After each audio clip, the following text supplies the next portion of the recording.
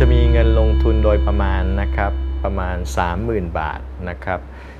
น่าจะเพียงพอสำหรับการเริ่มต้นทำธุรกิจกาแฟแล้วนะครับ แล้วก็แต่ถ้ามันมากกว่านั้นเนี่ยมันก็เป็นความอุ่นใจแล้วก็มันแล้วแต่ว่าเราอยากจะออกแบบร้านกาแฟของเราตามจินตนาการยังไงบ้าง แต่ไม่ควรจะมากจนขนาดที่ทำให้เรารู้สึกว่าเราเครียดที่ทำให้เรารู้สึกว่าเราตึงจนเกินไป เพราะฉะนั้นเลือกเงินลงทุน พอประมาณพอเหมาะ โดยที่ไม่ทำให้เราเดือดร้อนนะครับ แล้วก็ขาดความสุขในการทำธุรกิจ